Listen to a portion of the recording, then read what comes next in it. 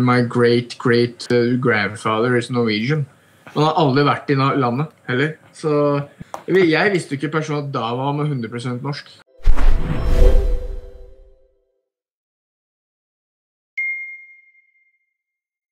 Han vi skal prate med nå, er en av eh, de mest prominente og berømte utøverne vi har hatt de siste årene. Han har spilt i NHL, NHL det var veldig bra, National Hockey League siden 2010. Og Nils Johan Sem, den tidligere landslagssjefen, sa det at han kunne ha vært utrolig go- god i fotball også. Så hei, Mats. Halla. Vi må begynne med den siste påstanden. tenker jeg. Hvor god er du i fotball, og hvor god kunne du ha blitt?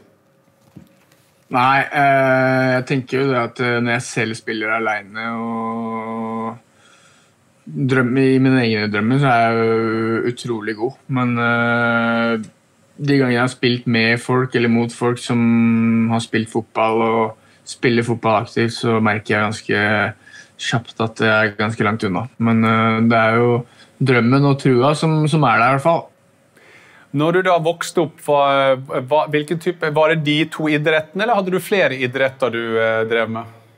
Eh, Det var vel de to som var sentrale. Eh, Jeg drev med, spilte vel håndball og innebandy. og har vel, eh, Selv om jeg er hockeyspiller, må jeg innrømme at jeg har spilt en eller to sånne utebandykamper også. Selv om ikke det er, det er tabu i hockeyen. Men uh, Hvorfor er bandy tabu blant uh, hockeyspillere?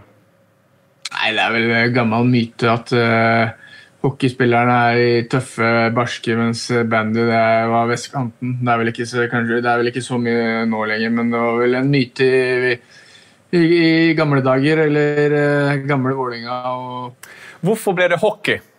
Nei, det er vanskelig å si. Jeg tror nok det var det som pirra meg mest og var eh, hverdagen. Jeg gjorde det mer spennende. Eh, treninger var, var kulere, kamper var kulere, det skjedde litt mer. Eh, jeg er ikke akkurat noe treningsprodukt i, i den grad at jeg har eh, gnugga og og det har vel vært eh, det som er gøy. og Jeg husker eh, når man begynner å komme litt mer seriøst på fotball. Det var mye løping, mye kjedelig arbeid som ikke, ikke var helt opp, oppbyggende akkurat der og da. Når jeg var i litt sånn trassalder hvor jeg bare, bare gjør det som er kult. Men eh, eh, hockey var, det er spennende. Alt som skjer, er spennende. Det er kamp, det er spennende hvert eneste sekund, minutt. Så jeg tror nok det var mye av det. Fortell om verdens kuleste etternavn, Zuccarello. Hvor uh, kommer det fra? Det er eh, Bestefaren min er eh, italiensk, så mamma bruker det navnet. og tenkte at eh, Jeg har jo det navnet i passet og tenkte at det er kulere å bruke det enn enn Assen. I hvert fall når jeg kom til USA og Sverige og litt ut. Uh. Det er litt sånn myte det, og at uh, folk som er litt mindre, de må være gode teknisk for å komme unna de store gutta. Var det den veien du også gikk? Ja, altså du Jeg tror det du kjemper mest mot, er jo fordommer og, og det at folk forteller deg hvor vanskelig alt er, og at det, mest sannsynlig ikke kommer til å, å klare det, og, og de tingene der. Eh, det er klart at eh, det er jo litt sant i den grad at eh, er du mindre, er du mindre, har du mindre fysikk, så, så må du være bedre på andre ting. det men det føler jeg liksom Jeg har jo lært meg det opp gjennom hele livet at jeg er ikke jeg blir ikke noe høyere eller større. eller hva det er. Da må jeg trene mer bein, være sterkere, ha bedre balanse, tenke fortere, smartere i den grad. Så det er noe man utvikler seg av at man ikke har vært en av de største opp gjennom åra. Så eh, det er ikke sånn at man trener noe mer på det. Du trener jo like hardt som alle andre, men du må kanskje trene litt mer. da. Eh, Litt smartere. Eh, Jeg har vel alltid kanskje ikke trent mer, men alltid vært mye på Løkka aleine. Gjort, tatt de ekstra timene på dagen og uten noe press fra noen. Bare gått ut fordi jeg har vært rastløs og har elska det. Gått å spilt fotball aleine i regnet.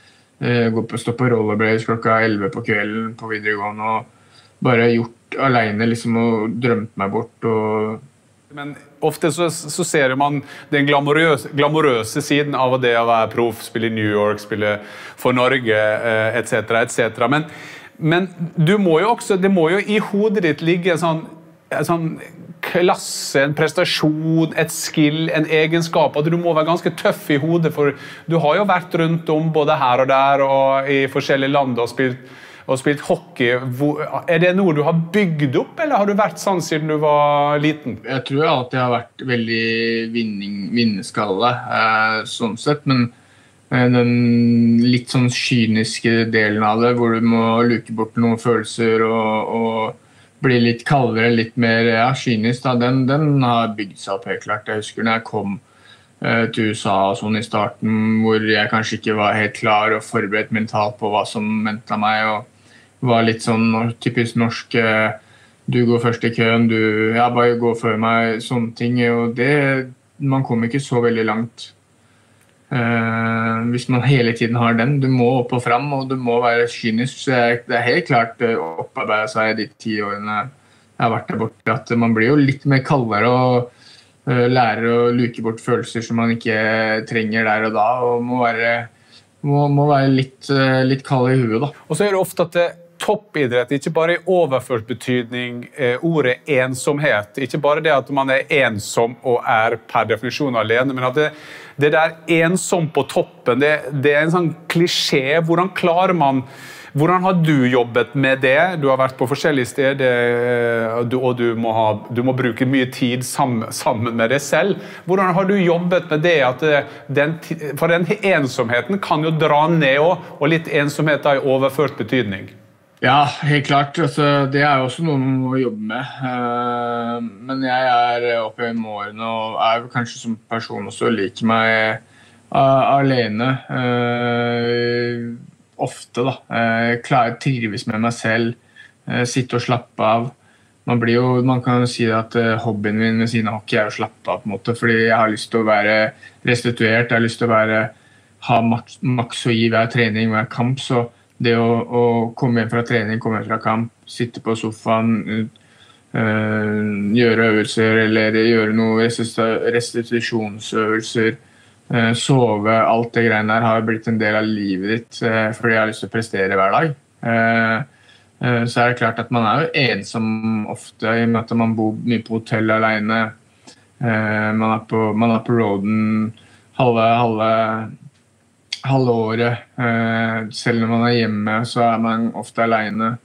Eh, du må legge deg Eller du må ikke legge deg i en viss tid, men du kan jo ikke gå ut og du har ikke lyst til å Hvis du har en kamp dagen etter og du, folk skal ut på middag eller gjøre noe, så, så vil jo du helt være hjemme og forberede deg mentalt og fysisk til kampen, ikke gå rundt og ha fokus på andre ting. Eh, det, det, er jo det man merker man blir eldre. Eh, man blir jo mer seriøs med å ta den biten her. Og, eh, jeg merker at jeg er blitt mer og mer seriøs på akkurat det. Men det er klart at man er borte også ni måneder i året fra venner og familie. og Man går glipp av veldig mye. men så der kan man kanskje føle seg ensom i, i høytider og ferier og, og sånne ting. Men det er noe man er, bare må lære seg. Det er tøft uh, i starten, men uh, sånn er det. Er det en så enkel T-konto når man setter opp uh, det man går glipp av og det man får, at så lenge det går i plussfavør, så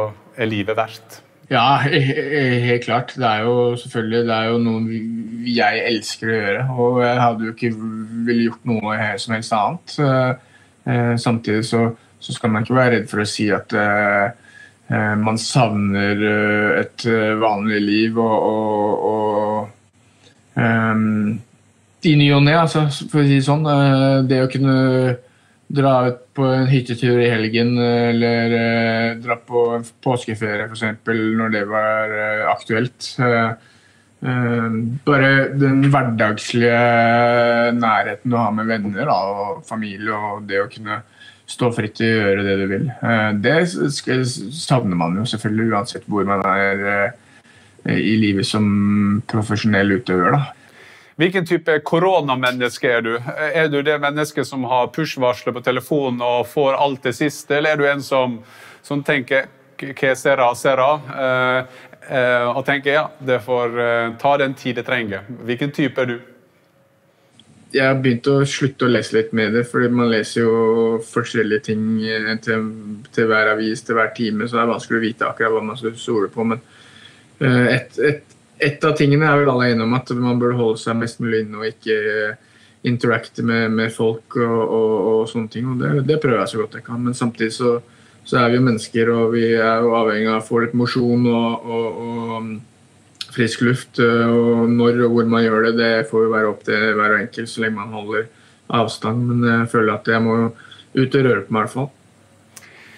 Du holder det i form fordi at eh, jeg måtte nesten se på papirene igjen. Jeg tror dere har er det noe sånn som 180 kamper igjen eller noe sånt? Altså, det er sykt med kamper igjen. Det hørtes veldig mye ut, men Nei, det er ikke kamper. så ille. Men ja, det, var, det, er mange, det er en del kamper igjen, så de veit ikke om vi skal spille ferdig sesongen eller om de skal kansellere den. og sånn. Det seneste jeg hørte, var sikkert spille noe i sommer og et eller annet. Men det, det får vi se hvor etter denne sykdommen eller viruset tar oss. Så lenge vi kan redde liv og, og, og den biten der av, av, eh, av, av verden er, er, som den er, så, så, er det bare å holde seg borte og, og, og gjøre det man kan for å bidra. Jeg, alltid, jeg, bruker alltid det som eksempel når jeg forteller om hvor viktig våre idrettsutøvere eller kulturpersonligheter er. og bruker alltid å spørre publikum da, om de vet hvem som er den norske ambassadøren i USA. og Det er en som heter Kåre Aas, som kanskje du også har møtt, som er en veldig veldig hyggelig kar. Eh, veldig hyggelig, bra mann. Eh, men du er jo likevel Norges mest kjente ambassadør i USA. og Jeg husker, jeg tror jeg fortalte det en gang når jeg, jeg satt vel og så Washington Diplomats. Jeg så en, en kamp, og da sa de igjen Patrick from Zuccarello. Og jeg sto opp og var glad som alle, altså, alle nordmenn var. Og denne valfartingen av nordmenn til eh, New York når du var i Rangers, hvordan merket du det? Og, og, og følte du det at, det, at du var i New York, hvor mye det betydde for nordmenn? Ja, øh, helt klart. Det var en veldig spesiell tid jeg hadde i New York. og trivdes med alt, egentlig. Men det var jo spesielt Det var sikkert 100-200 nordmenn på hver eneste kamp, merka man. Og man hørte rykter rundt omkring om at det var mye nordmenn. Og hvis man hadde folk på kampen, så møtte man alltid nordmenn. Så det var jo kanskje noe av det jeg satte mest pris på av alt. Uh, spille i New York er det det var en uh, kjapp uh, sju timers, uh, timers fly, fly, til New York og ta en weekend der og få med seg kanskje to kamper. Det var veldig populært på, på en tid der, og noe som jeg setter veldig pris på. Du har hatt et par skader, Mats. Hvordan var det? Du hadde den som du var veldig lenge ute i. Så hadde du den når du var i Dallas, Dallas Stars. Hvordan har det vært å jobbe seg tilbake fra de skadene? Nei, altså jeg har brekt Eh, begge forarmene og har plater i begge. Og, og en hodeskade og noen brekte bein og, og, hender og litt sånne ting. Da. Så det kommer jo med, det. At alle toppidrettsgrener som regel så er det skader som, som, er den sorte baksiden av alt det der. Eh, det er veldig frustrerende. og man er langt nede når man kommer og blir skada på den måten her, men samtidig så er man er det en del av gamet. Vi spiller på et nivå og spiller 100 kamper i året, så det skulle bare mangle at man ble skada. Men uh, det er klart jeg har vært litt uheldig. Man merker jo det på, på håndledder og armer at man, styrken forsvinner litt. og um, Feelingen og alt det forsvinner. Det tar tid til å komme tilbake igjen. Uh, nå har jeg plater i begge her. og sliter litt med armene i ny og ne. Så, sånn sett så er det jo veldig kjedelig, da. Men uh, samtidig så er det en del av, en del av gamet. Uh, var... Man får ikke gjort så mye med det. Nei, Det var vel noen som sa at de eldre man blir, så slutter kroppen å tilgi uh, det livet man, man lever. Prøv å fortelle litt om det systemet. Hvorfor endte du Dallas og i Minnesota? Hva var det som skjedde da? Jeg fikk en telefon, jeg fikk beskjed om at jeg ikke skulle spille en kamp. Uh, ingenting hadde skjedd, men det kunne skje. Uh, jeg spilte ikke den kampen. Uh, på kvelden der så fikk jeg en telefon klokka 11 eller noe at Nei, du har trada til Dallas. Dere har kamp i morgen i Chicago. Og Da måtte jeg da begynne å pakke og skulle ta flyet som gikk klokka fem. Så var det gjort. Det var, var et par minutter på telefonen, det. Så var det fly flyreisen på, på mil, og ja, så var man ikke Rangers-spiller eh, lenger. Det kommer som et sjokk. Jeg hadde sett for meg at jeg skulle være i Rangers i alle år og avslutte karrieren min der, og det var drømmen. Og når du da får det var tyngre for meg å innse at jeg kanskje kommer til å bli trada. Så jeg sleit jo litt i den sesongen. Og når du føler at du er eh, lojal, og så er det noen som ikke er det mot deg, da, da føler man jo litt sånn svik, kan man tenke. da. Man føler det. Ikke at det er det, det er jo en del av businessen, men det er kanskje det man som person som personlig føler da, der og da. Og så var det jo i sommer, så var man jo fri til å velge hva man ville. da, og um, så man jo på det sportslige, sportslige og det utenomsportslige, og jeg hadde vel satt seg som mål som jeg ikke hadde sagt noe om sånn at jeg veit ikke om jeg har lyst til å spille i Eastern Conference nå. Ved å møte Rangers fem ganger og det var fortsatt litt sårt meg for den tida der, så jeg visste at jeg har lyst til å prøve uh, den vestre divisjonen. da. Og da var det Minnesota som falt naturlig. Det er en hockeystat. og jeg elsker hockey. Og, så det Ja, det var, det var, spennende. Men det der å bli trada, det betyr at det, når, han, når, den ringer, som da er vel en eller annen manager, eh, sportsdirektør, whatever, da har ikke du noe valg. Da bare vet du at flyet er der, og da er det alt ordna i kontrakten. Så du må bare dra dit. Ja, det er ikke noe altså, du, Det som er med eller at den kontrakten du signerer på, den, den, har du uansett hvilket lag. Det er ikke noe sånn Hvis du blir trada, så kan du Eh, sånn som i, i, i, Premier League, og at du kan eh, forhandle om ny kontrakt. Det er, når du skriver under penn på papir, så er det en kontrakt du har i de årene du har signa for, uansett hvilket lag du er på. Så. Vi var jo, altså, det var jo nøkkelord ganske tidlig. Det var ensomhet, og så er det den tomheten du egentlig beskriver der. Hvor lang tid, om du har eh, Jeg regner med at nå begynner det å, å hjelpe på. Den tomheten etter etter Rangers. Eh, hvor lang tid bruker man for å få det ut av systemet? Eh, altså det kom ikke når jeg ble trada til Dallas, så kom jeg dit. Jeg kjente meg bra med en gang. Og, så jeg tror ikke den tomheten kom ikke Eller tomhet og tomhet, det er ikke det. Men den der følelsen kom kanskje ikke før sommeren, da, hvor man virkelig skjønte at uh, jeg skal når uh, når september eller august kommer, da, så skal jeg ikke pakke og dra til New York lenger. Det var kanskje da man øh, realiteten kicka inn litt mer. Da. Det var jo som et hjem. så det var da, om På den sommeren så var det litt tøft der en, en liten, liten, periode. Da. Men uh, så går jo det over. Det er ikke noe uh, Det er ikke noe man får gjort med det, liksom. Og Det er jo mange nordmenn som har pakka sakene sine og dratt til Minnesota. og uh, så på Wikipedia. Ja, det er mange år siden, da. ja, det er mange år siden, ja. Jeg kom litt etter.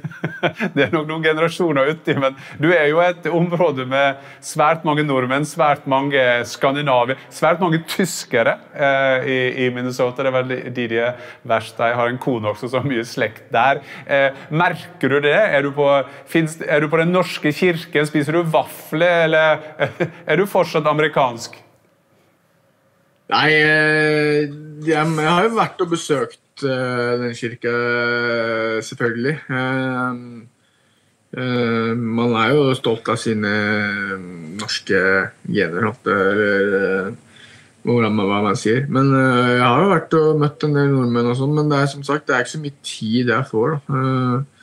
hver dag er jo trening eller kamp, eller vi er ute og reiser, så jeg har ikke vært der så lenge. Uh, man merker jo at det er all, all, mange man møter, har en eller annen uh, i familien som er norske. Uh, enten de sier de er 100 norske, og så sier de ja, er du 100% norsk. Hva betyr det? Nei, my great great uh, grandfather is Norwegian. Så ok, hvis det Jeg visste jo ikke personlig at da var man 100% norsk. man har aldri vært i landet heller. Så det er mange som har det i kroppen, det er jo det. Og, og har det i anene. Du, eh, du, er jo fortsatt en ung mann, eh, og eh, nå er du i Minnesota National Hockey League. Hvordan ser du I, i hvilken i perspektiv tenker du? Og hvor er landslaget der en gang? Kan vi se det tilbake og spille på Norge igjen? Eller hva tenker du om de neste kommende årene? Nei, jeg har jo femårskontrakt, da, så jeg har vel fire år igjen etter det her. da, så jeg tenker at jeg spiller de håper i hvert fall at jeg spiller de fire årene, og, og så se hvordan jeg føler meg etter det. Det er klart jeg har hatt en del skader, eh, skavanker opp gjennom åra som tærer på. så det, er Mye har jo å si hvordan man føler seg med skader og, og, og kroppen, rett og slett. Um, når man var i 20-åra, så, så, så, var det ikke noe stress. Var, man var alltid pigg. Man hadde som regel Med mindre man brakk noe, så var man ikke skada. Man hadde aldri noen lyskestrekker eller noe skavanker. Enten så brakk jeg beinet, eller så spilte jeg, på en måte.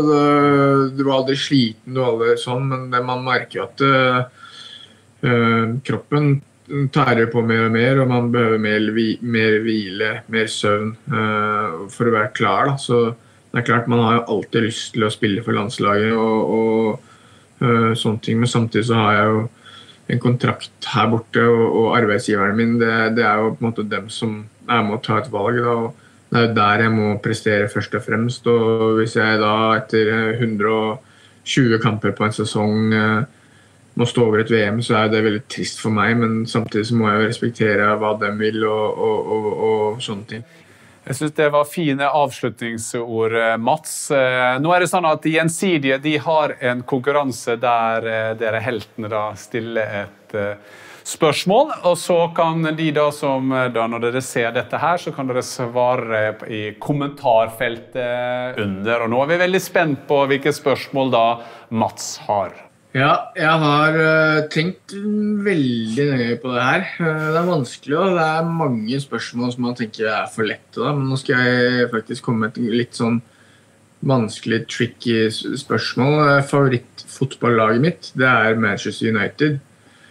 Men hvem er favorittfotballspilleren min gjennom tidene? den kan bli ha, Han har ikke spilt i United. Såpass kan jeg si.